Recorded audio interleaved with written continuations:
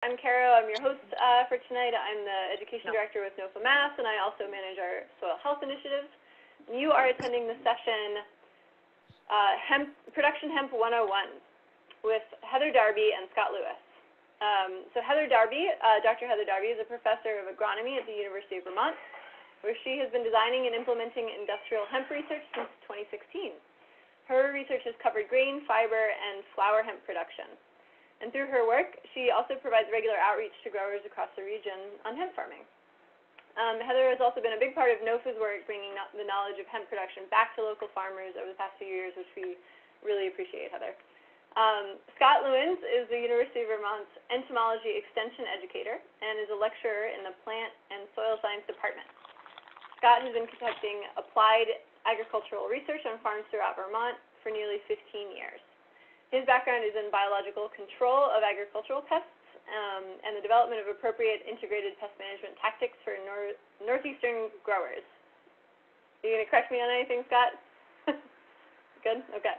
Um, so hemp has so much promise as a multi-use uh, crop for food, fiber, soil health, and medicine, and I'm so excited to hear what these two presenters have to tell us this evening.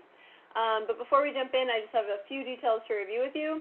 Um, so we do have a number of sponsors who help to make our whoops, help to make our conference possible. So uh, I encourage you to support them and tell them that NOFA sent you. One last note, um, throughout this conference we will be showing you this slide, um, and this slide is just meant to uh, remind us all to um, consider the fact that the land that we are all presenting from, speaking from, researching on, living on, was occupied before and inhabited and managed. The land is managed prior to European colonization. Um, I'll drop a link to uh, this map if you haven't interacted with it yet. It's highly interactive. You can look up your location and sort of get some of the history of the pre-colonial inhabitants of this land. But also just a note that um, since colonization, there's also been um, a lot of uh, different um, racist policies that have resulted in uh, most of the land in this country being owned um, by uh, white Americans and descendants of, of white immigrants. And that's part of the racial justice lens that we should think about when we think about land ownership. Um, we should always be questioning that and thinking about that when we um, move forward with land-based work. Um, so with that as uh, just a framing point, um, I think we can go ahead and begin our session. And at this point, I will turn it over to Heather to start sharing. Okay, well, thank you for having me tonight. Um, we're going to just jump right in and talk about hemp. There's a lot to learn. We don't have a ton of time, so I'm going to kind of breeze through some things I hope um, maybe are, you know, common knowledge for everybody. But I just wanted to start with the plant itself and familiarize you with the plant. So hemp um, produces both male and female plants, which makes it a little bit different than most agricultural crops that we grow with grow. So in order to produce seed um, or grain, you need to have both the male and female plants. And in order to produce fiber, you really only need uh, the female plants. And in order to produce um, essential oils like CBD or CBG or any of the terpenes, you also only want the female plants. So the female plants themselves, um, I think everybody is most familiar with what that looks like. They have uh, very congested flower head where the flowers are all really, really bound close together, and we sometimes refer to that as the buds of the cannabis plant. Um, and then on those flowers, there are these stigmas that are long and they're covered with receptive papillae, which is where, of course, the pollen would go to fertilize the plant. Um, oftentimes, it's these stigmas that we see brown up on the flowering um, bud, and that's when we start to show that the plant, the female plant itself, is getting ready to harvest. So the male plants look really different. They tend to be a little bit, um, I guess, like kind of scragglier. They're they're taller. They tend to be taller because they want to rise above the female plants, basically to get into the airstream because most of the pollen is blown around by wind. blow the pollen around to make sure that it gets all the, the female flowers. So they tend to be taller than the female plants. They die really almost immediately after they shed their pollen. So if you are growing grain, you'll see these male uh, plants start to flower, and then you'll see them a few weeks later just as dead, totally brown and shriveled up plants out in the field. Um, now, bees like the pollen of males.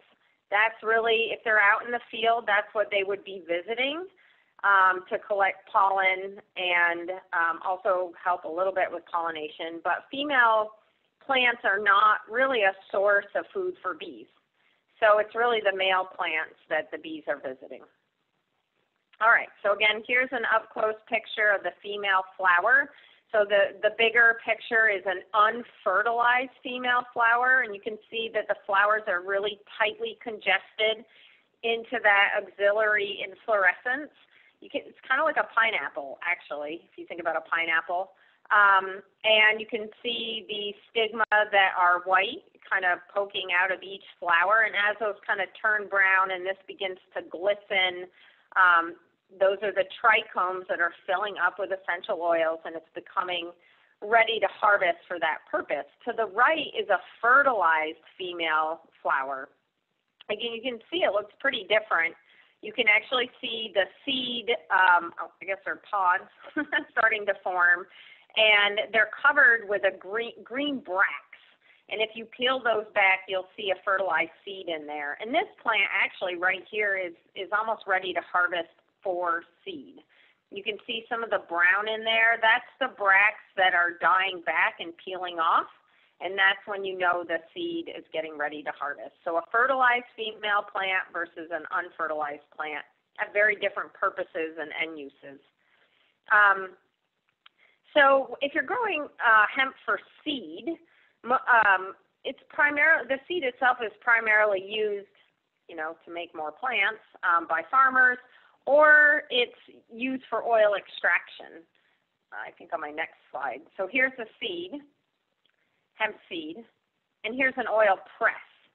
So you would put the seed through this cold press, and there's a screw in that barrel, and that screw kind of pushes the seed through and crushes it. And out of the side where those little dots are there is where the oil leaks out. And that um, coming out of the end there kind of looks like a a turd. I don't know what else to call. Um, that is the oil seed meal. That's what's left once the oil is extruded from the seed.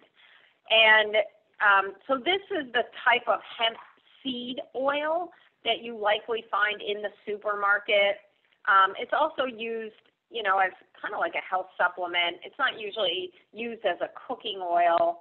Um, some people take it to enhance omega 3s in their diet.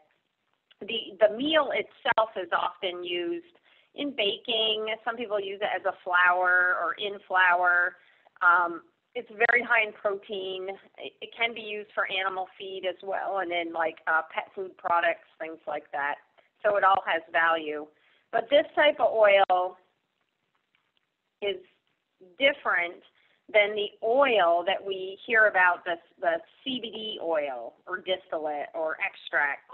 And that is, is also an oil, but it's removed from the plant through um, a very different process. So it's usually removed through CO2 extraction or ethanol extraction or even a basic olive oil extraction.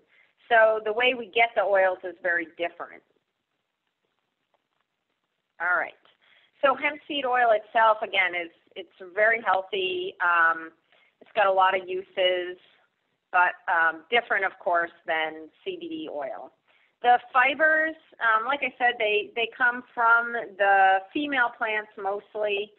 The fiber itself is, um, is considered a bast fiber, and the bast fibers is what's um, peeled back here, and in the middle is what we call the hurd. So the bast fibers are what make that really long, high quality linen. So if you're like if you're if you're um, making clothing as an example or or some kind of materials or rope, this is what would be made from high quality bast fiber. And then you have the hurd in the center, which is, is a little bit softer, and this is what like hempcrete might be made out of. Um, bedding is made out of this. There are lots of different pla- uh, products as well made from that part of the hemp plant. Um, but all of these crops or end uses, they all come from the same plant, but how you grow them and the varieties that you select to produce fiber or grain um, or CBD are, are very different. And that's what we're going to talk about. Maybe. If I can get to the next slide. Okay. So let's get into the basics of growing. We know that hemp is well adapted to our region. Um, it's actually adapted to a lot of regions, and I think that's why it's um, it's really exciting for everybody because it really is being grown in just about every state in the country. And so, you know, even though hemp has become an opportunity in our area, it's an opportunity everywhere. And that's also kind of made it um, difficult, I think, to um, keep a steady market because it's easy to flood a market when really every every farm in the country almost can grow hemp. It can be grown in Arizona, it can be grown in Florida, it's being grown in Alaska, um, Hawaii, Vermont. So it's an opportunity for everybody. So it's very well adapted. Um, for in you know our case, it's pretty cold tolerant for the most part. It can also tolerate hot um, and arid conditions provided that it gets a good root system. So it's been really dry this summer, and our hemp that is not being irrigated actually is doing just as well as the hemp that's being irrigated. So again, if it can set um, a good root system, it can survive even um, you know much of the drought that we've been um, seeing this summer. One thing that hemp does not like is waterlogged soils, especially when it's a younger plant. And so those heavy, heavy clay soils that are, you know, predominant, at least where we are, um, it's very difficult to grow hemp, um, high yielding hemp on those types of soils. And of course, hemp loves uh, full sunlight. So as far as water requirements go, it is a crop that requires um, a decent amount of rainfall each year, and so we ha- generally have no trouble, you know, providing hemp with 20 inches of rainfall during the growing season. Um, but again, most of the most of the rain or water that a crop needs um, uh, is is maximum at the time of reproduction. So as the crop grows in its like younger stages, it needs some water, but then as it begins to put on more vegetation and begins to move into the reproductive phases, that's actually when it's using an inch of water a week at least. So really right now is the critical time for this hemp, for most of us, for the hemp to get um, enough water.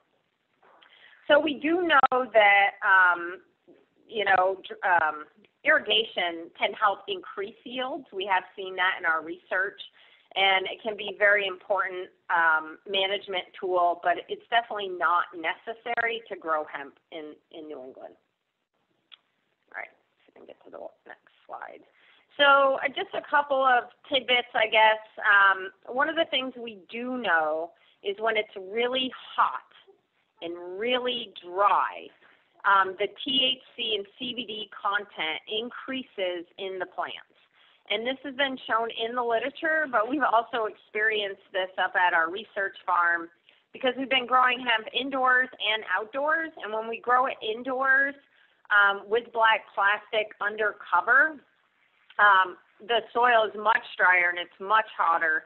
And the CBD and THC levels tend to be elevated, um, often a little more than we would like. So, you know, making sure that the plant is not drought stressed, especially as it's beginning to form um, and accumulate these essential oils and cannabinoids is really important because you can easily be out of compliance if the plants get way too dry and stressed. All right, so again, as I mentioned, irrigation can help increase yields, um, and this is up at the research farm. So when we irrigated hemp, um, we got over two pounds of dry flower bud per plant, but when we didn't, you know, we were closer to a pound and a quarter. But again, still respectable yields even with just rain-fed hemp. And I would say this was an average year. It wasn't really dry and it wasn't really wet. Um, so here's a photo of some waterlogged plants, just to give you a sense of, um, you know, how stressed out these plants can get, especially when they're young and there's too much water. This is grain hemp being grown, and you know, things just go really bad fast when there's too much water on a young plant. Um, so again, the soil limitation here really is on really heavy clays with over 40% clay. Um, you know, you, you're going to want to have some kind of drainage on those soils um, or really good high quality, high soil quality to make sure that they're not retaining too much water. Um, adequate pH is also really important. You want to make sure the pH is over six. Um, and I'll just also note that these are big plants. If you've seen them, they put on a lot of biomass. They can be very efficient at nutrient uptake, especially if they're allowed to, you know, produce really deep roots, but they need a lot of fertility to to grow. I mean, you think about the the amount of biomass you're producing, um, it does take nutrients to grow those crops. So, you know, we often hear, oh, you know, hemp doesn't need anything to grow, and it is true. It's a pretty efficient plant um, if it gets rooted well, but it's big and it needs lots of fertility. So again, you can have really deep, deep tap roots. Um, some of that depends on the type of soil that you have. Um, I have heard, and I, you know, I'm not. I mean, I guess I'm as an expert as most people, but I have heard that clones um, do not produce tap roots. I've heard that over and over and over again. So, you know, really, if you're growing outside, you're probably way better off to use seedlings over clones to make sure that you're producing a, a really healthy, deep root system. Okay, so this is a soil test, and again, I just, you know, want to encourage people to take a soil test. I do work for Extension, so that's something we always say, take a soil test. Um, we, you know, we have a lot of beginning farmers trying to grow hemp, um, and some not so beginning farmers either. And you know, people not taking soil tests and you know, planting into soils with pHs below six and and lots of deficiencies. Um, and it costs money to grow crops, and you know, knowing what you're starting with is really important, and being able to fertilize properly um, not over fertilizing is as important as not under fertilizing because over fertilizing can cause a lot of disease issues down the road. Um, so I think people people tend to overdo it, and we've seen a lot of issues with um, diseases like powdery mildew as a result. All right. So for fertility requirements. Um, the crop requires a good amount of potassium. It's very similar to a corn crop in that way. Um, two and a half to three percent of its biomass is actually potassium. So on average, again, depending on your soil test, usually a recommendation would be between 60 and 70 pounds of potassium a year. Phosphorus um, is needed in much uh, much lower amounts. It only makes up half a percent of the plant's biomass. So the plant needs far more potassium than it does phosphorus. Um, you can see here I have a recommendation of 50 to 70 pounds. And again, this is if your soil test is testing low to medium, that's what you would likely be putting on. And same with um, potassium. Nitrogen is really the top nutrient that this crop takes up and needs. So if you're seeing deficiencies, again, depending on your soil test, um, if you've added everything else, it, it might very well be um, a nitrogen deficiency. So hemp removes, you know, 100 to 200 and upwards pounds of nitrogen per acre. So it is a very nitrogen needy crop. Um, and we found through our research at this point that it takes about um, 125 pounds of nitrogen applied to the plant um, per acre. And, and that's kind of what our research has shown so far for the Northeast. But again, that'll range depending on your soil type, um, past management, and um, yield, yield goals as well. Um, okay, with most of these nutrients, especially if you need a lot of them, you don't want to be um, dumping it all on at one time. So with nitrogen, you want to apply the nitrogen in the vegetative stage. So you want to have all the nitrogen applied before you start, before flowering really starts. And flowering, depending on the variety, is starting right about now in most places. So you want to be done with most of your nitrogen applications at this point. And I would advise people to split that 100 to 125 pounds up over the duration of the vegetative stage instead of putting it all on at once. Um, there is a fear that adding too much nitrogen can reduce THC. Some people say if you add too much nitrogen, it'll increase THC. We haven't actually seen either of those things happen. Um, we applied nitrogen up to 200 pounds per acre, and we didn't see any difference. Um, but again, I think if you're over applying at flowering, there could be some negative impacts. Okay. Um, what, oops, has a slight delay. All right. So um, N deficiencies are plants turning yellow. They, they uh, get very chlorotic. Hemp tends to light up um, when it's unhappy. So it will definitely tell you when it needs something. Sometimes it's hard to turn the plants around once you do see the deficiencies. So, you know, again, get your soil test and get things in order. Um, we have seen this that too much nitrogen can stimulate the formation of male flowers. Um, I've mostly seen this in our grain crops. But again, I think if you're applying it over time in split applications, that is less likely to happen. Um, so phosphorus, um, hemp uses most of its phosphorus at flowering. So you just want to make sure that you have um, optimum soil test phosphorus when you're planting. If you're if you are in the optimum range, you don't need to add anything more during flowering. But if you have low phosphorus, making sure that you have ample amounts at, at flowering is really important. Um, so with potassium, it's actually the opposite. You want to make sure the potassium is put on at the front of the season. You do not want to put the potassium on when flowering occurs because um, there'll be some negative impl implications from that. All right, Micronutrients, we hear a ton about micronutrients from people, um, mostly I would say in the marijuana world. You know, there's a lot on the internet about feeding plants with everything you can possibly think of. Um, there is evidence, you know, that mi- micronutrient deficiencies are observed in hemp, of course. Um, micronutrient deficiencies can be observed in any crop.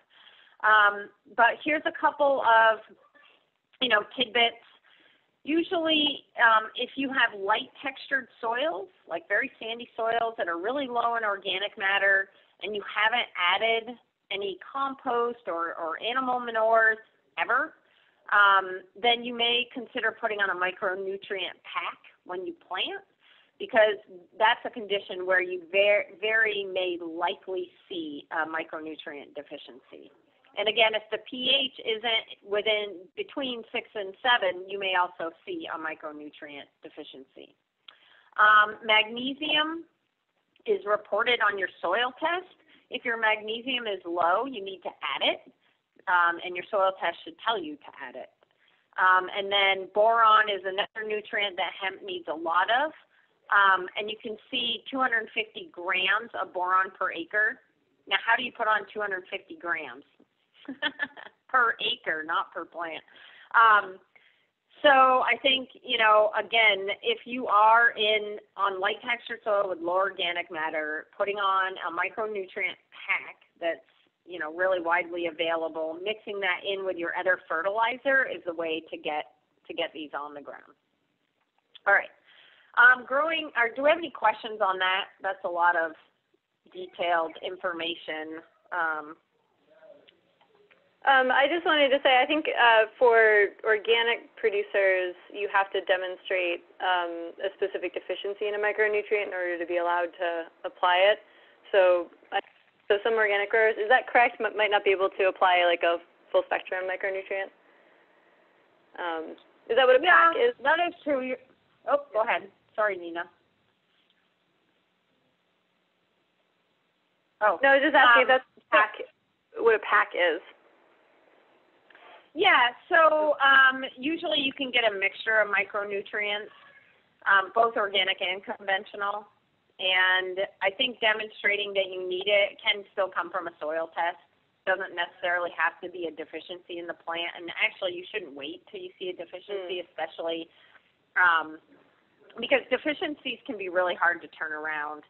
Um, on plants. I mean, you can use foliar applications and things like that. But a soil test will give you an indication of micronutrients. Um, and again, if you have these other conditions, you should be able to justify that it's needed. Great. And, So and Nina was wondering. Um, oh, sorry. There's a little bit of a delay. I apologize. Um, Nina was wondering how much magnesium is uh, recommended in the soil, um, and she said she might have missed it if you if you said this, but can you recommend? Yeah, the- I didn't say that, but um, usually what I see in New England is, you know, about 50 pounds. And magnesium can be put on organically through Sul-Po-Mag. That's a really common way to put it on. It also applies sulfur, potassium, and magnesium. Um, if you need lime, you can also put on high mag lime and get the magnesium that way. So there are different ways um, to get it on the ground. Great. But it's usually Um, not more than 50 pounds. Great. Thank you. Um, and while we're asking you questions, uh, earlier Nina asked, um, what is it about female plants that makes them better for fiber? So just stepping back from the nutrients for a second. Um, they're just they tend to be more prevalent. I think actually what I've heard is the male plants make better fiber, Oh, but um, but they tend to be less prevalent um, in the field with the current varieties that are grown. But I have heard in other countries, such as China, they rogue out the females to get the males for fiber. I don't know if that's true, but I've heard that. Yeah, I'll just I'll step in really quickly, Heather. I've heard the same thing, and it's because earlier you mentioned that the male flower, uh, the male plants are are generally taller, so the space between the the nodes is longer, so the fibers themselves are Mhm. longer. So I've heard that same thing. Mm. Yeah. Okay. awesome. I think that's all the questions we have for now. Thank you. Okay. So I'm going to um, talk a little bit about growing grain and fiber because it is very different than growing um, hemp for CBD or CBG production. So um, usually hemp, growing hemp for grain or fiber is very much like growing a cereal grain, so like barley or wheat. And you use a grain drill to plant with, and your seeding rate is 20 to 25 pounds for grain per acre of seed and 40 to 50 pounds um, per acre of seed if you're growing for fiber. So the seeding rate increases for fiber because really what you're after are long, thin stems. Excuse me. So you pack the plants closer together to produce um, taller plants and smaller stems.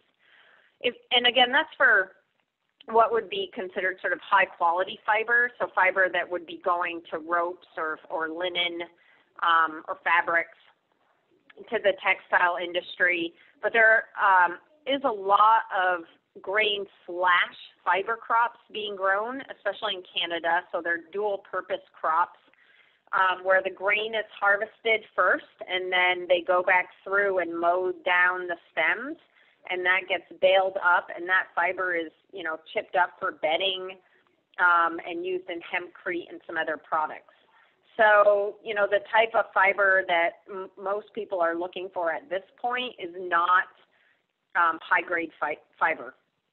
It's not for the textile industry, not in the United States or Canada. So, most people are, are growing a dual purpose crop. Um, fertility needs for grain and fiber, that's kind of the range um, that we see. These are Canadian recommendations. We haven't gotten that far with um, Northeast recommendations, but I will say our nitrogen requirement is a little bit higher. And again, that primarily is because we receive um, generally high rainfall, so we get more leaching. The average grain yield is um, a quarter to just under a ton, and that's a Canadian average. That's the same um, yields that we see here in the Northeast. We've, we've seen very high yields of grain, you know, a couple of tons, but I would say the average is, you know, about a thousand pounds of grain per acre. So variety selection, like any crop, is really important. And there are varieties that are specific for fiber production. Here are a few that are listed here. Um, most of these come out of, of Europe, Poland, Italy, um, France. Uh, I, I don't think there's any um, fiber specific varieties that come out of Canada. So these that are listed here are mostly out of Europe. And you can see there really is a, a pretty significant difference in the bast fiber content um, of those varieties. We've done some of this evaluation here, and we have most of these varieties in our trials as well. Um, so we're kind of looking at the same info here in the Northeast. So this is us planting um, hemp for grain. And you can see again, there's a grain drill on the back of this planter. So we just use a standard grain drill. The rows are, you know, seven inches apart and um, planted to about a half to an inch deep. Here's just a picture of those flowers again. The grain itself is harvested with a combine, and there are some special um, combines. They're not special combines, they're heads, special heads that are used to harvest hemp we just use the same combine we use for everything else, and it works fine. It's it's very difficult to harvest hemp. You can see how tall it is. Um, you've got to lift your um, your combine head up as high as you can because you really just want the grain um, off the seed heads. So we're just trying to clip off the heads and put that through the combine. It's really messy. It's green, which is really different than other grain crops um, and there's a lot of trash in the seed. So it's it's a it's definitely takes time to harvest. This is harvesting for fiber. Um, this individual is just using a sickle bar. You harvest for fiber.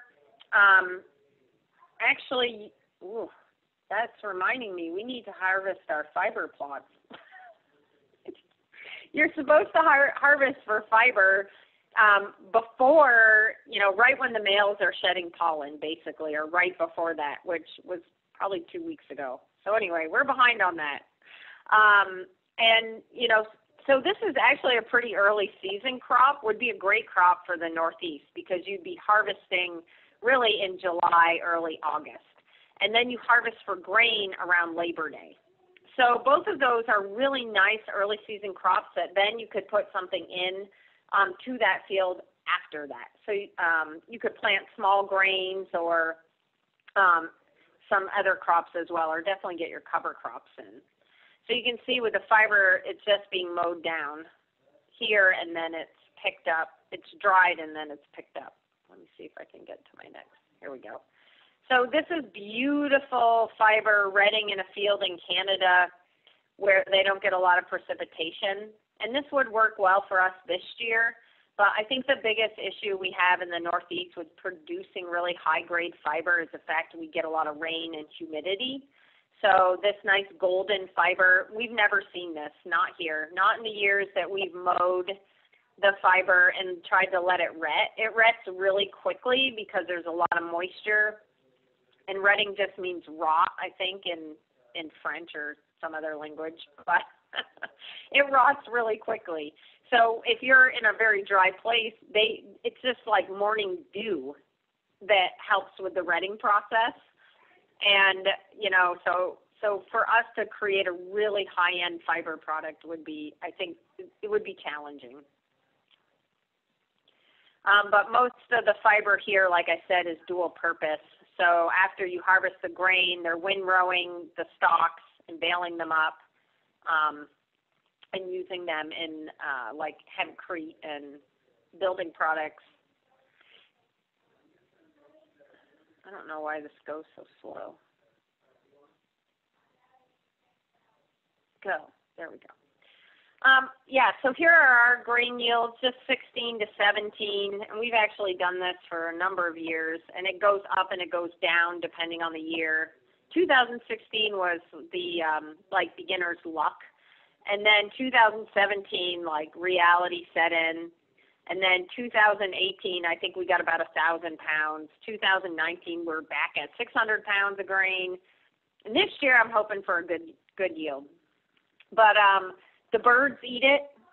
Um, so the birds came in and wiped out our crop in 18, really, or yeah, I think it was 18. Um, so birds eat it. It's um, like I said, it's really difficult to harvest, and it's really difficult to get a good stand. As far as planting date for hemp, I'm going to use all the time here. I got to hurry up. Um, as far as planting date for grain or fiber, and actually even for um, CBD, if you can get it in by the second week of June, I think that is really ideal. And you can see that's not what this graph shows. but the point of this graph, um, oh, I hit my button too fast. Go on. Um, is what what we've seen over the years is that establishing hemp from seed is very difficult. And this is probably, in my mind, one of the most, this is actually the most challenging aspect of growing hemp for fiber or grain. And really, as we're moving into larger scale CBD production, people are planting from seed. They are not planting from seedlings. And establishing a, a good stand of hemp in the field is very, very difficult. And it is just, uh, it, it has low germ um, it's just I don't know. I can't even I don't even know what all the issues are. Um, fungal issues. The soil conditions here are horrible, as you can see. But a crop like corn can get through this. A crop like hemp cannot. It cannot withstand any crusting um, at all. So everything has to be perfect to get excellent germination we planted twice last year. The first time we got 42% germ. The second time we got 72% germ. Um, this year I planted three times. It was almost the same thing. So it's just the conditions have to be perfect to get a really solid stand of hemp, which leads up to the higher yields, um, no weeds. If you get a good stand, you will not see a single weed in your grain field or your fiber field. Um, and so the stand issue, you have to have excellent soil quality. Um, and so, you know, here is just a graph showing our grain populations in 16 and 17. And you can see we had um, 50 plants, less than 50 plants per meter squared um, in 16. And in 17, we had less than 40 plants per meter square. Um, and we're planting six. It's only 40% of what we put in the ground, so we're losing 60% of the seed. And in 17, we lost 70%. So, this to me is like the biggest challenge, and and this is our fourth, fifth year doing this, and just when I think I've gotten it right, you know, something goes wrong. So, all right. So weed management, like I said, if you get that really good stand, so this is all hemp in here. This is an excellent stand of hemp planted from seed. Um, once it gets out of the ugly teenager stage, which is this stage, it really takes off. And even if there are a few weeds in here, nothing, nothing can outcompete the hemp. Um, but, you know, if you're missing a plant every six inches, that's just room for weeds to grow. So the, the stand is critical, and especially with organic management. And there aren't really any herbicides approved for hemp at this point, but there will be. But in organic, uh, you know, it is a really great crop for organic, but the key again is getting that solid stand um, right out of the starting gate.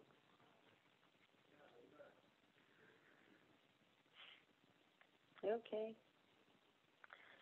Um, all right. So I was going to talk a little bit about purchasing seed unless there's any questions.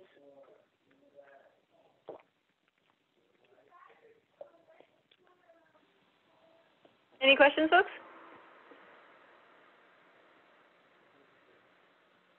I, guess not. All right. We can proceed. Okay, here we go.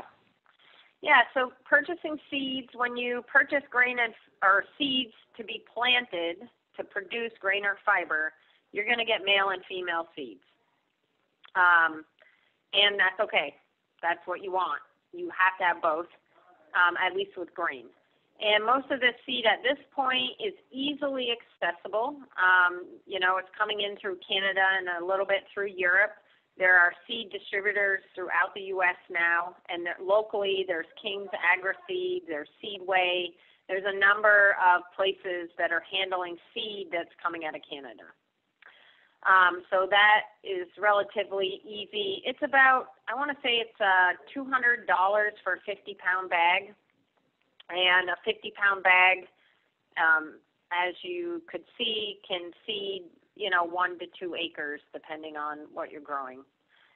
Uh, okay, so CBD, CBD clones, CBD starts. I say CBD, but anything that's being grown for essential oils or smokable uh, flower bud you know, you have lots of choices here.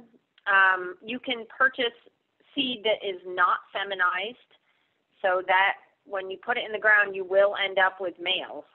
And usually it's about 50 50, 50 males, 50 females, at least in this case. Um, and so if you only want females, you're going to spend some time roguing, you know, culling out the males, and you have to be super diligent because obviously one male can ruin all of the female plants. Most people purchase feminized seed, so it goes through um, quite a process so that essentially the plant is only producing um, seed that will produce a uh, female plant. And I don't know, is this allowed in organic? I'm not even sure. I'm not sure because the process uses um, different chemicals to basically stress the plant. So I don't, I don't know. I know it was up for debate, but anyway, most people are using feminized seed, which um, hedges their bets that they will get female plants, but it's not guaranteed. Um, oftentimes, there's still male plants that occur if you're growing from feminized seed. So those are your two choices. Feminized seed is usually about a buck a piece, and unless you're buying bulk, um, and sometimes you can get a break, but usually it's around a dollar and can be higher. Um, you can buy CBD clones; those will be female, and because they're taken from female plants. They range, again, it really depends, but anywhere from, I've seen $3 clones up to $10 clones so they're much more expensive. And then you can have um, starts, you know, just like you would for your uh, veggie farm, tomatoes or cucumbers. So you just take the seed and you generate a, you know, a little seedling. And I think that's what most people at this point are using, are starts. Um, certificate of analysis. So if you're buying seed, especially eh, or any seed, you have to have a certificate of analysis. I'm not um, uh, I'm not overly familiar with the UMass with Mass rules, but they're stricter than Vermont rules.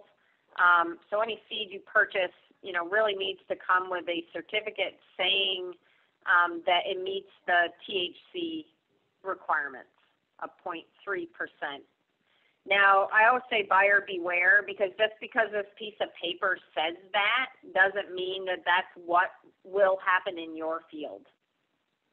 Scott shaking his head. I mean, we've, I think last year we grew a variety that came with a COA and it produced 4% THC reliably. so um, it is buyer beware. My suggestion is to be buying seed from a reputable source, and there actually are some nowadays. Um, so just caution there. All right. I'm going to skip through some of this. Um, just to give you a sense of yields and CBD content, so what I have learned over the years is that if your plant is going to be compliant, it's not going to produce 20% um, CBD. And this is, um, you know, coming out of some genetic work that's being done now that basically if your plant's compliant, it's probably producing more like 10% CBD. So in our trials, not compliant meant that it was over 1% THC, because that's the allowable level in Vermont right now. With the new USDA regulations, it will be 0.3 for everybody. So when I said this was compliant last year, it might have been over 0.3, but it wasn't over 1% total THC. So non-compliant, these were over 1%, and the rest were not. But you can see, um, you know, we, we did have some around 12% CBD, but we don't, we didn't generally have anything that was 20, 20%. And as far as yields go, this is the flower yields that we were seeing. Um, and we saw yields that range from about a thousand pounds of dry matter per acre um, up to um, around over 3,000 pounds of flower bud per acre. So you can get quite quite a large yield off of some of these plants, but it doesn't really mean anything if it doesn't meet the the regulations. So, all right, I don't want to go on too long, Scott. I know we're going to 8:30, but you have 30 minutes. I thought we were going to, least. to 12:30. Ah. Um, yeah, okay, so I'll talk about uh, plant spacing. So most people are planting in like this, this five by five formation. So five feet between plants, five feet on all in all directions. Um, and that seems to work for people. Six by six, you know, is also good. Um, you can grow these plants one by one. You can grow these plants 18 inches apart if you want for CBD. But there are some downsides to any method. Um, if you're growing five by five or six by six, you need less plants, less seed, less investment on that end. Um, if you're growing plants two feet apart, you can see you need 10,890 plants, which, you know, at a buck a seed adds up fast. Um, so most people, I think, are sticking with this larger plant spacing at this point. Um, but out west, where they're kind of larger scale harvesters and, you know, more commodity type farming, they are definitely planting um, with grain drills seeds 18 inches apart. So, um, but I think we'll probably stick with this wider spacing here.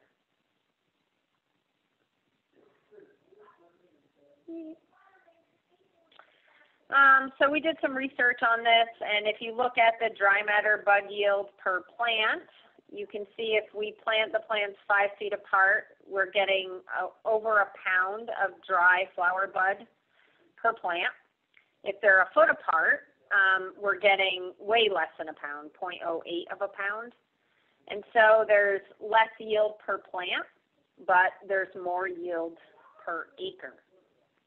Um, and, you know, a lot of people look at this data and they say, oh, well, then I should, you know, I should plant the plants closer together and get more yield per acre. But it also costs uh, a lot more for the seed. And so is that increased yield worth that investment? So it's really trying to figure out, um, you know, what planting scheme is going to work best for you based on what you're going to get paid at the end of the day for the for the flower bud. but any any of these arrangements work. Planting date, really the same thing as with grain and fiber. If we can get those plants planted um, by the you know sort of second week of June, we maximize yields.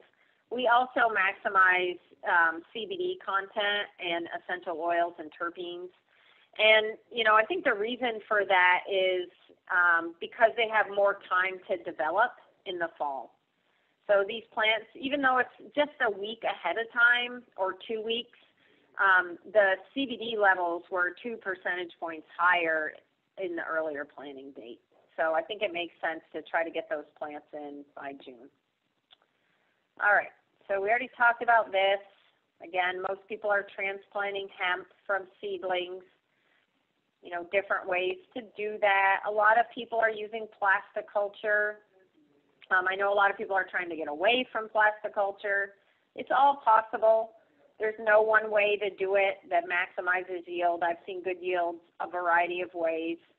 Um, you know, if you have plastic culture, you need to have um, irrigation under it. So, you know, that can be a complication for some people. Some people are transplanting with machines, some people are not. Um, like I said, there's lots of ways to do this. people are spraying between alleys if they're not organic. If they're organic, they're mowing, weed whacking. Um, some people are cover cropping. So, like I said, there's success in doing it many ways. We're really interested in cover cropping between the rows, and that's what we do. Um, and if you have plants five by five, you can mow in all directions, you know, um, and take care of the take care of the cover crop or the weeds. So, all right. Um, I just want to talk about removing the male plants. This is something that people get really hung up on. Um, and it's really important as the plants move to flowering that you get rid of all the males. You can see here, this is a little flower or pollen sac that's going to open up here on a male plant. And on the female plants, you can see those little stigmas poking out. So you have to be really diligent. You have to be out there every day looking because your female plants can produce male appendages. And, um, and that's tricky. So you need to just constantly be walking the field. So harvest timing, this is also you know, up for debate. Some people um, look under the microscope and start to see when the trichomes start to turn dark in color or cloudy. So here are trichomes right here. You have to have a microscope to be able to do this. Um, some people start to harvest when the plant gets really sticky. Some people start to harvest when those stigmas turn brown. Um, probably the best thing is to send in your sample and see where your CBD and THC levels are through a lab and then go from that point. But there is no hard science around this at this point. Um, harvesting for flower, most people are hand harvesting or using some type of mechanical um, labor or mechanical mechanization combined with hand harvest. You know, hand harvest. I mean, Scott can attest to this. I mean, some plants take hours, hours to harvest. Um, and you can see here I have one to three hours per plant. So, you know, it is very labor intensive. That's for the flower market. But even for biomass, which is, you know, includes some stems and some leaves. It's still very time consuming. So we've combined um, hand harvest with mechanical harvesting, and there are all types of harvesters being produced. This is a modified tobacco harvester that basically just cuts the plants in the field. They go up this little conveyor and it lays them on a bed. But then to me, that's the easy part. The real work begins when you have to start breaking the plant down. So you can see here there's different types of mechanization that people have come up with to harvest hemp, um, but it's really expensive. And you know, most likely in the Northeast, we're going to be going for smaller acreage, higher value, um, and using some of these harvesting tools. This is a bucker over to the left. So you stick your stems through those holes on the top, and there's rollers in the back that grab the stem and then all the buds and leaves pop off. So that helps reduce some of the labor. The thing in the middle is a leaf trimmer. Um, buddies, that again is another type of um, bucker that can be bought. So once you get it harvested, it has to be dried. and there's ways to do that too, simple ways, complex ways. This is a, a hop dryer out in the Pacific Northwest, but it does have to be dried. And this is an issue for people. I mean, these are huge plants. So if a plant is five foot in all directions and you need to hang it up somewhere and you have thousands of them, you know, it's easy to do the math to figure out you don't have enough room. So, um, you know, plan to not be able to harvest it and plan to have to hang it up in a barn or somewhere dry um, to dry it and figure out how much space you're going to need. It takes a lot of space. I think we hung 40 plants and it took up half a barn. So, can buy dryers. Um, they're becoming more more um, common. Um, okay, I think I'll end with that. I was and Scott, you can. This is a little bit about pricing. I haven't looked at the prices lately, but this was April last year. This is when people were getting crazy. Um, this is why so much acreage went into the ground because we were paying, you know, four dollars per percent CBD, and this was giving, you know, returns per acre of forty thousand dollars. So this is why everybody planted hemp. But then that dropped, and now it's like ninety nine cents, I think.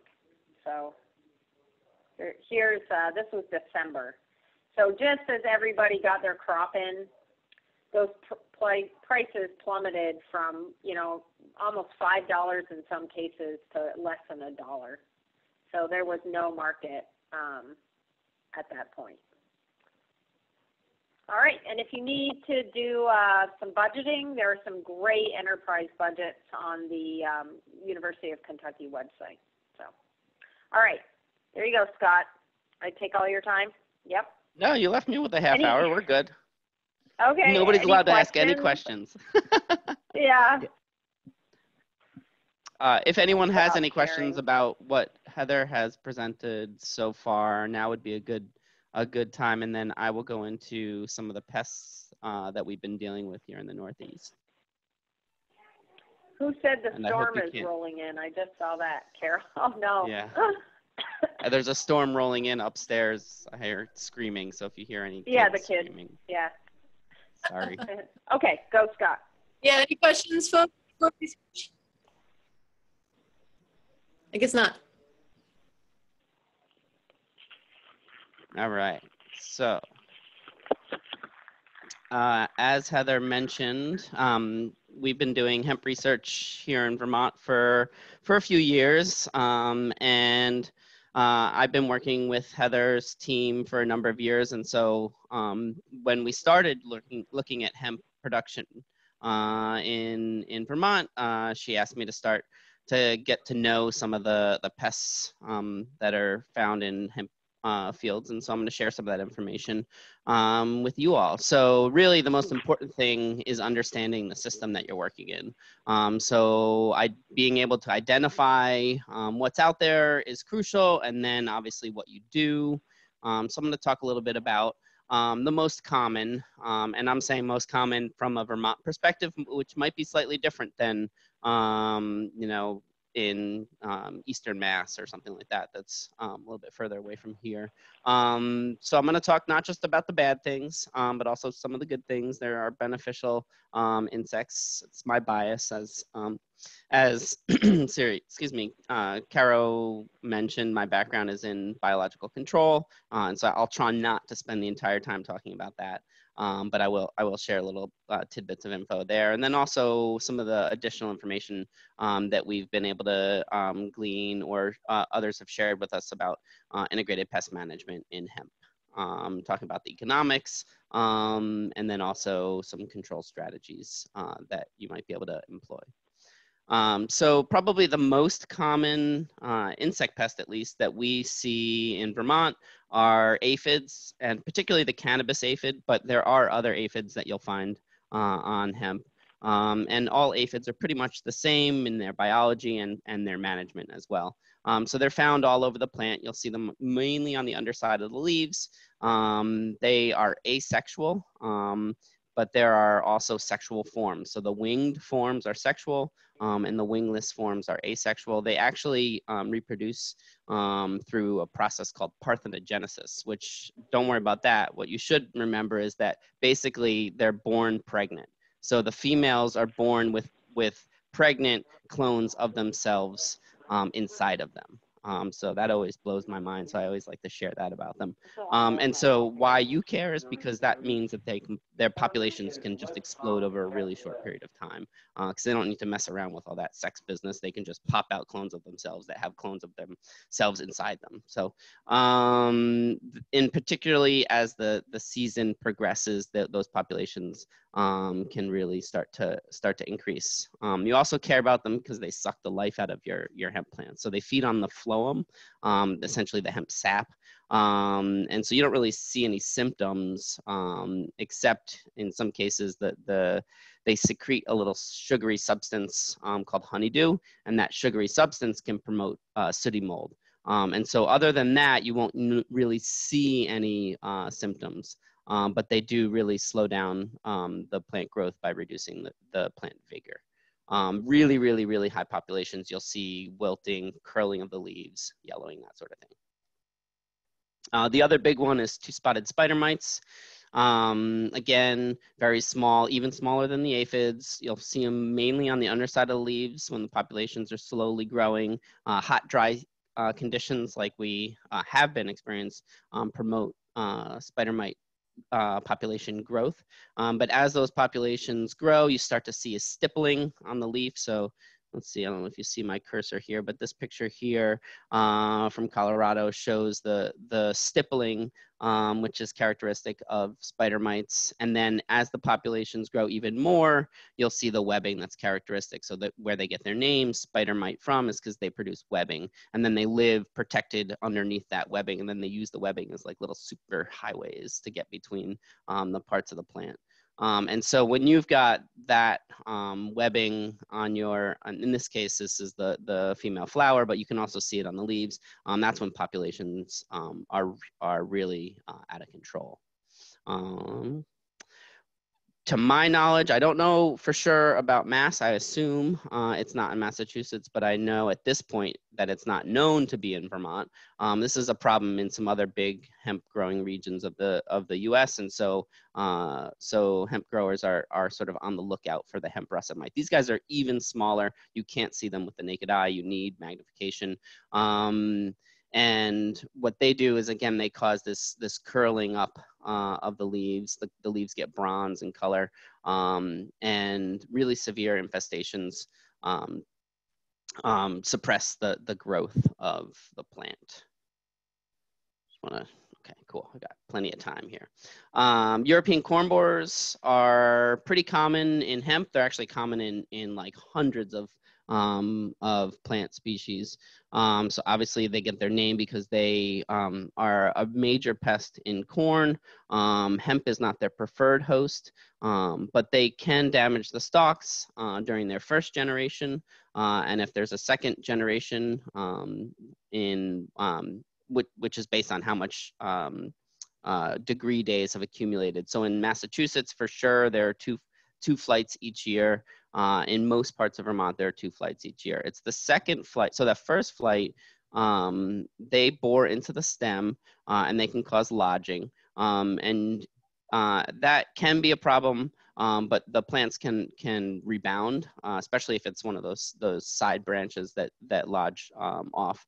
Um, the problem is the second flight. So you get a warm year like this year, you get a second flight um, relatively early. Um, in August. And then that second flight, you can see the picture here I've got, is a European corn borer that has bored into the flower. Uh, and just completely annihilated um, the flower. That's a, you know, you get uh, basically unmarketable yields um, because of the damage that they that they do.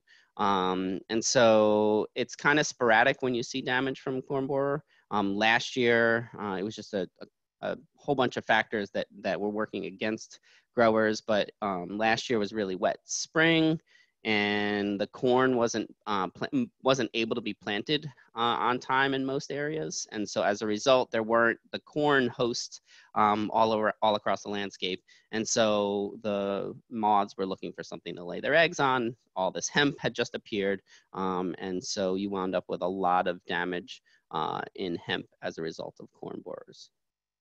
Uh, Japanese beetle, also another really common pest, also not generally um, favored. Um, hemp is not generally favored uh, by Japanese beetles.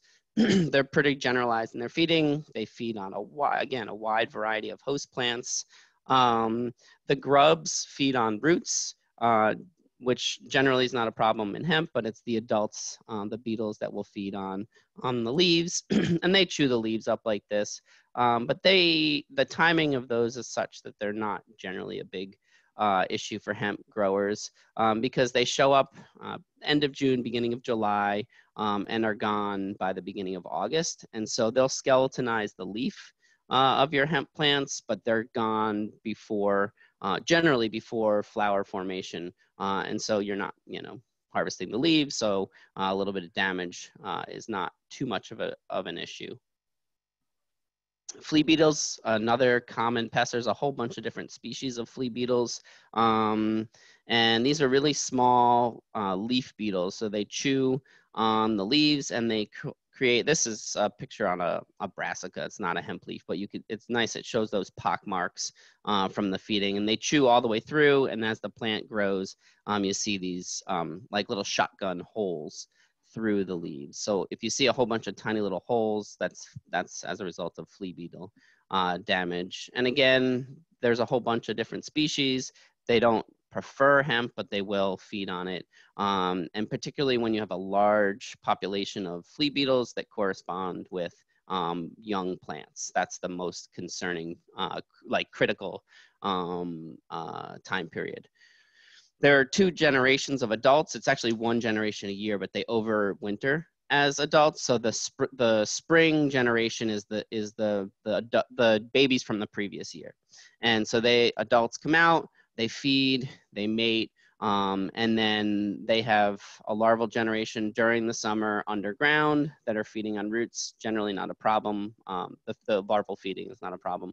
And then uh, there'll be a second generation, um, which is their offspring that emerge um, and in late August. So you get a second generation uh, of adults, which is really just the overwintering generation for the next season. Potato leafhoppers, also really common pest, also not generally favored, uh, or hemp is not generally favored by leafhoppers, um, but it can do some damage. So leafhoppers um, are a gift each year from the south. They get blown in on wind currents. Actually, they go up to the to the Midwest first, and then get blown over. And so just pay attention to your friends in Michigan and Ohio. And when they start talking about leafhoppers, then you know that they're going to be coming here the following week. Um, and so they blow over on wind currents. The adults are the winged form, um, and then the nymphs don't have wings. So um, it's really common in June. Usually, the beginning of June is when they is when they first show up, but the exact date can change. Um, this year was a relatively early year, so they got blown in early. We've had a warm summer, and so they've had more time to to reproduce and have multiple generations.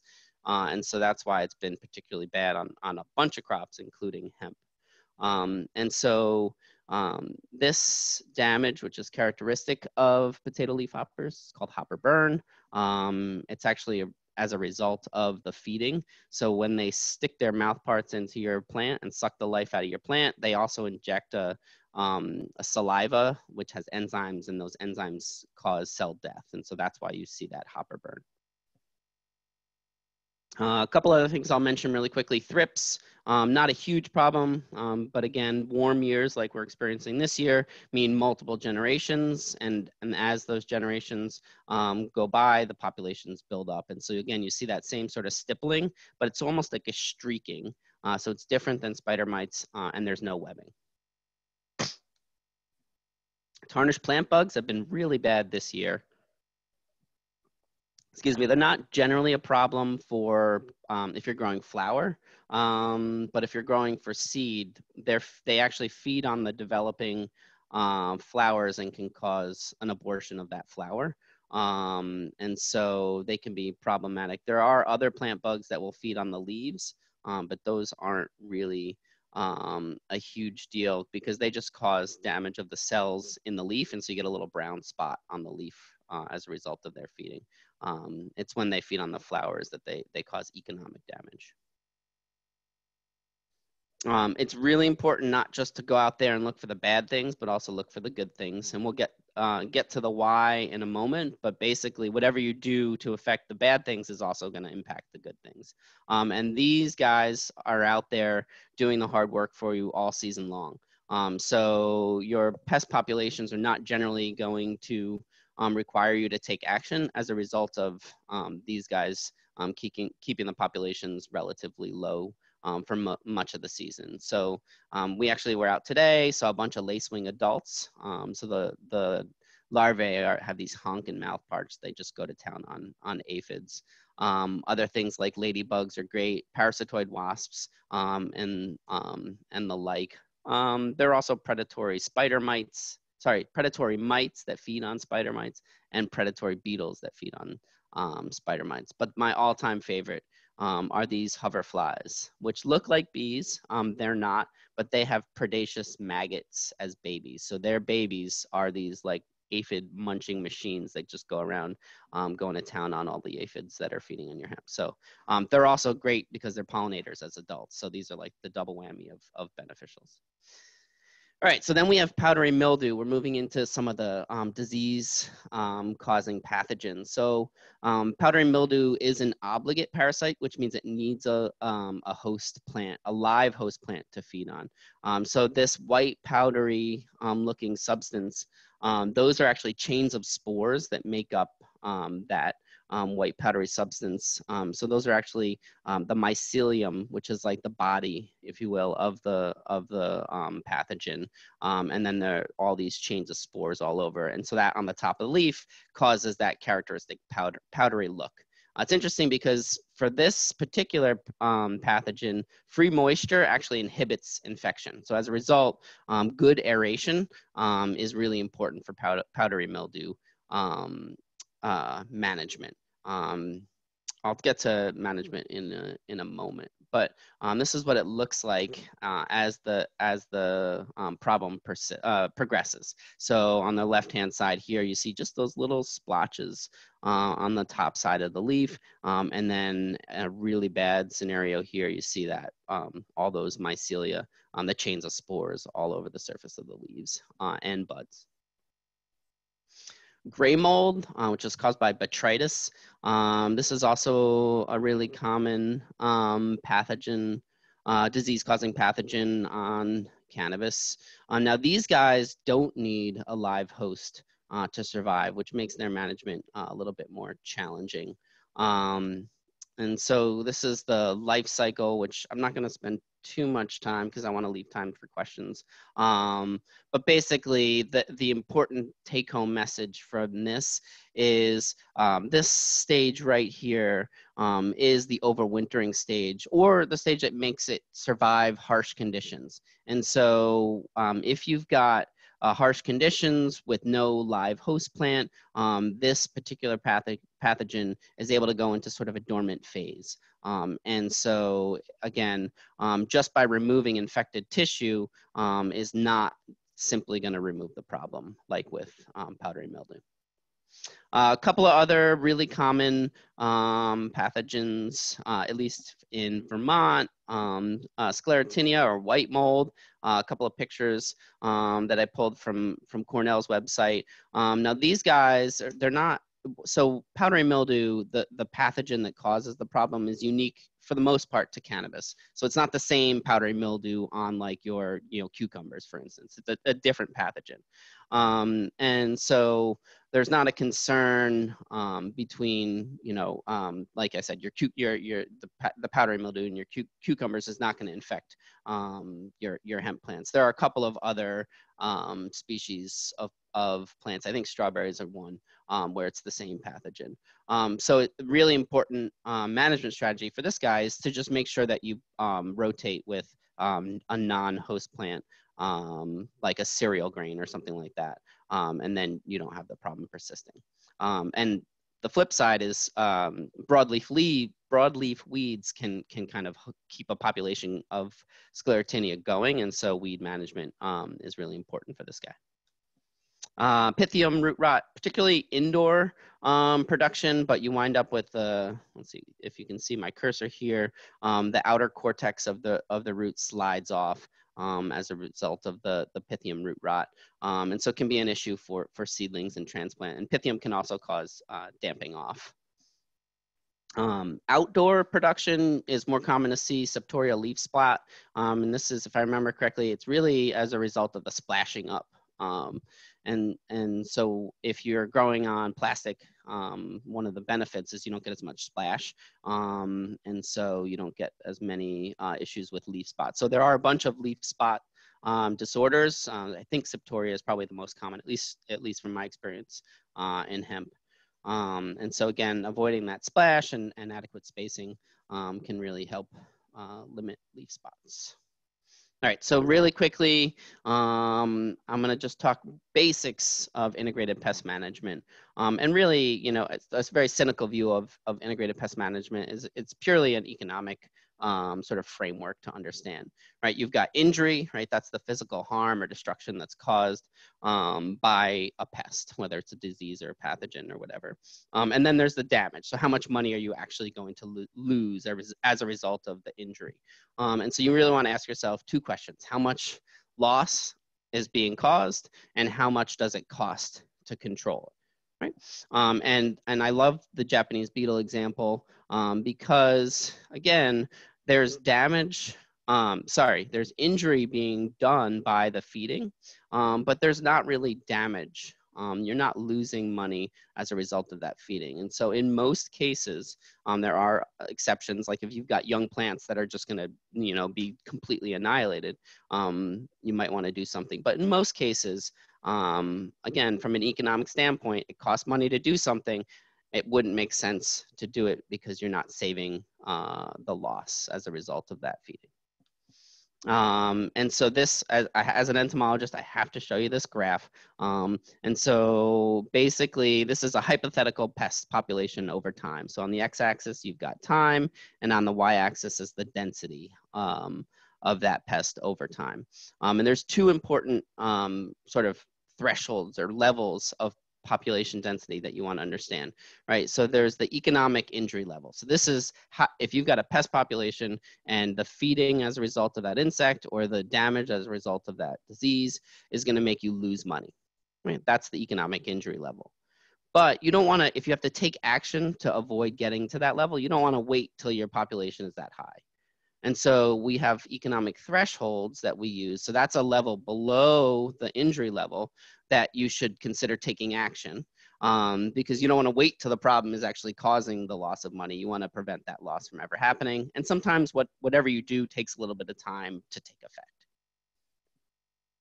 So thresholds really quickly are great. We don't really have a lot of economic thresholds developed for hemp production, um, particularly in the Northeast. Um, and so this is like what what we would love to have because that's like a formula. You know that for you know X number of plants, if you've got Y number of aphids, you do something. Again, we don't have a lot of that information yet.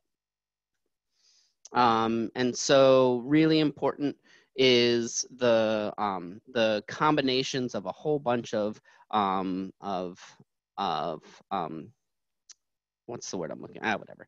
So different strategies that work together, right? You don't want to be doing one thing and then something else that conflicts with that, right? So um, you want to focus on managing the problem. You're not going to eliminate it, right? And you do that management proactively. You do a whole bunch of things ahead of time to re- prevent ever having the problem. If you do, and there's nothing else that you can deal with, uh, you nothing else that you can do to deal with it, then you think of chemicals. And there are organic chemicals as well as um, conventional chemicals. Um, but for the most part, in at least in the Northeast, uh, most growers are going uh, organic for, for hemp. Um, monitoring is the cornerstone of IPM. Um, this is actually a, just a screenshot of a, um, of a data sheet that, um, Ann Hazelrigg uh, and her group developed for, for scouting in hemp. Um, and you'll see that you go out and the procedures are pretty typical. Um, you you want to hit most areas in the in the field um, and and most areas in a plant. Um, you don't want to just go out to one plant, look at one leaf, and then make your decisions based on that. So you want to kind of check out what's going on throughout the field uh, and also throughout the plant. And you want to be making notes. You want to be keeping track. Ideally, a weekly scout, um, or maybe during really um, critical stages, um, more than once a week. Um, but you really want to know what's out there. And this is diseases, but we also have one for for insects. Um, so the things that you can do, your behavior, um, your, your activity to, to minimize pests. So um, sanitation, getting rid of crop residues, um, and plowing in stuff um, that you can't get rid of. Weed control um, is really important. So cultivating and cover cropping, and then thinking about your rotations and what's next to your plants. it, can be really important for certain pests. Uh, and then also transplanting um, hemp relatively early um, so that the plants have a, a, chance to harden.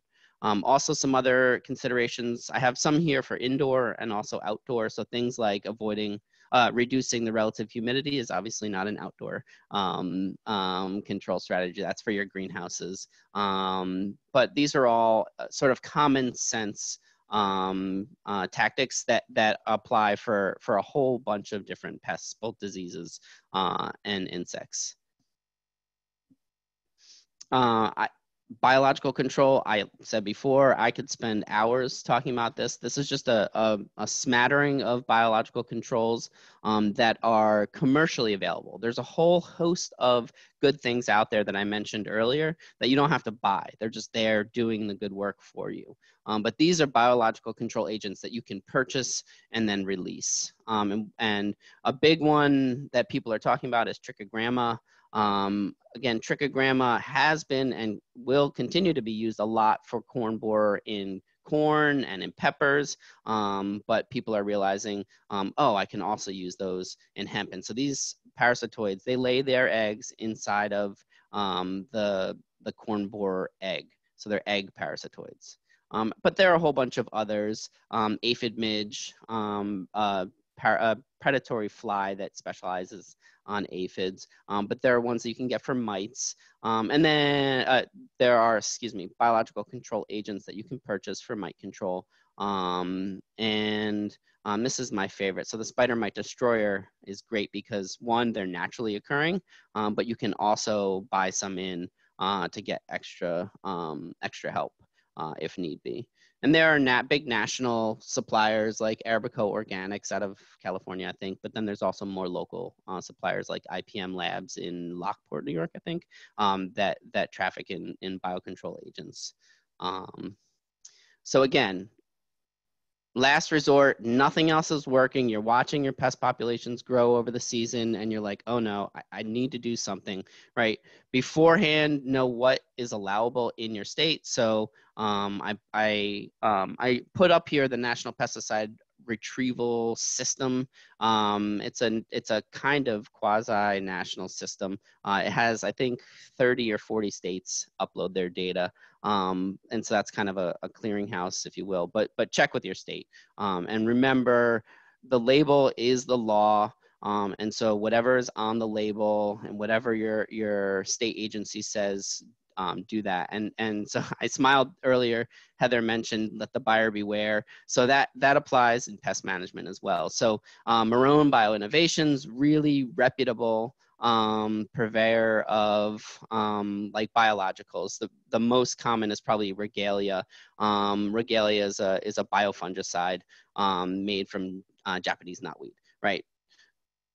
Labeled for, for organic, labeled for hemp. In fact, in Vermont, I can't say for sure in Massachusetts, um, but um, on their website. This is their cannabis pest guide. Um, at the time, and I looked this up a couple weeks ago for a presentation, this presentation that I put together.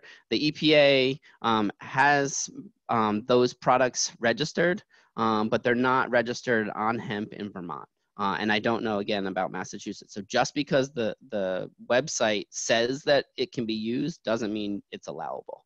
Um, and in fact, a, a, really weird one was this new product, Jet Ag, was registered in Vermont, but not registered for use on any um, plant in Vermont. So maybe they're in the process and it was just like that. I got I looked it up just in that weird time. So again, make sure that you're you're following the label, but also whatever the state agency um, that's responsible for pesticide registration says. So really quickly, know the good guys, the bad guys, um, both the, the insects and mites and diseases, um, what the symptoms look like, so that when you go out into your field, um, you can think holistically, all right, what are all the things that I can do ahead of time? What am I starting to see? Am I starting to lose money? And if so, or am I going to lose money? And if so, what are my options? Um, and so, again, being informed and proactive are crucial um, for those pieces. So, I think I have two minutes, um, and I saw a couple of questions popped up. Um, and it doesn't have to be about pest management. Um, it could be about any of the information that, that Heather and I uh, presented this evening to you guys. Um, and I, to be honest, Kara, I was not paying attention to the questions. Yeah, no, I don't think we have any questions. I just put a bunch oh. of like end of session announcements.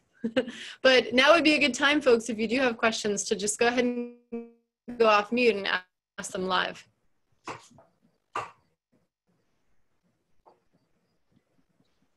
If if no one else has a question, I did um, just have one um, for you, Scott. I noticed in Heather the um, um soil test that Heather uh, shared, um, she had like a 77% base saturation, I think. Um, and I'm wondering if you have seen any sort of correlation between lower pest and disease pressures as you get sort of higher on that base saturation with your calcium.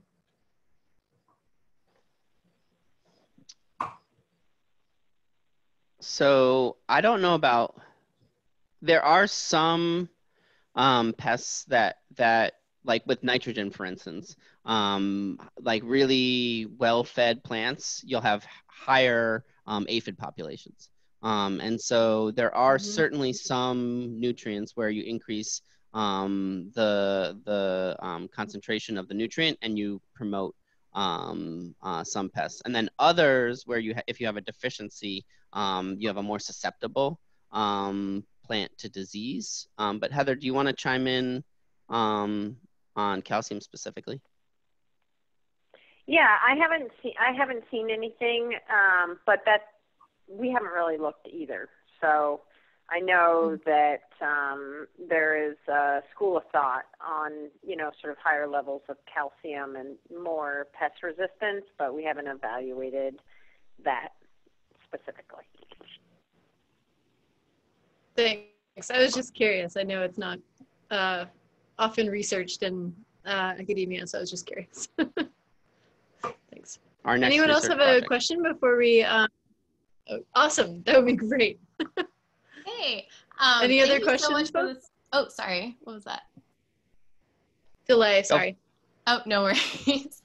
Um, yeah, thank you so much for this talk. This was like super informative. I'm um, personally growing hemp myself right now this summer, so um, as an it, this was like an intro to IPM for me and like an intro to so many other sources from um, Heather's talk earlier. So thank you first of all. Um, I have a question, I guess, about the pest management in terms of so for like the monitoring stage, like as or all stages are monitoring stages, but um, as you're monitoring your field, I guess like for new growers, maybe I, I'm asking in the sense of how to be evaluating basically the injury that may be done to you like what how bad is the problem essentially? How do you start making those decisions about like when you might start needing to take action? Um, you know like is some population okay and you should just like let them do their thing? That sort of thing is kind of like what i'm getting at. I think the biggest thing to answer your question nina is is being able to diagnose the problem. So and so like again if you're seeing a whole bunch of the, the example i gave with japanese beetles if you're seeing a whole bunch of japanese beetle damage and know that it's Japanese beetles, then you can go and seek out the information and, and find that, oh, Japanese beetle damage is, is not a big deal. Mm. Whereas, you know, if you were seeing the damage as a result of corn borers, you know that that's a little bit bigger of a deal. Um, and so diagnosis is the most important piece. Um, and then there's information out there generally um, about at what point you should start worrying. Um, and there's not, it's not a hard and fast rule per se. It's not like, all right, you see, you know, 17 aphids and that means you need to, you know, spray. There's, there's a, there's a spectrum, if you will, of um, like people's comfort level um, with taking action. There are some some people that want to have more control and will add more input inputs into the system in order to have more control. There, but as a result, you have to put more money in, right? So there there are those the the um, the trade-offs associated with taking action. Can I just ask, um, what like, do you have any preferred sources for um, or recommended sources for exploring how bad a population can can get? For for those So- different, yeah. Yeah. So again, I, as I think Heather mentioned, we don't have as much information uh, for the Northeast because we, we haven't been, in least, at least recently, been growing um, uh, cannabis legally. Um, and so a lot of the information is coming out of Canada um, or Colorado, and particularly um, Colorado for insects um, is like, for me, the go-to source for information um, because they've been growing legally there for much longer. Um, uh, now Kentucky, there's a lot of work down there as well. And so some of the, the extension um, sites for those states that have been growing uh, more rec- uh, have been growing for longer recently would be would be where I would go. Gotcha. Thank you so much.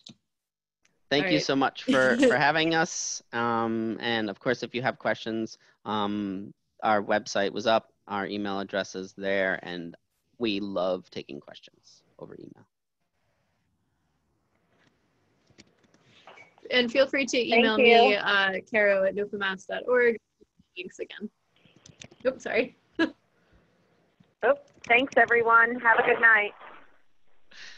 Thank you so much, Heather. Thank you so much, Scott. Thanks everyone for being here tonight. Bye, everybody.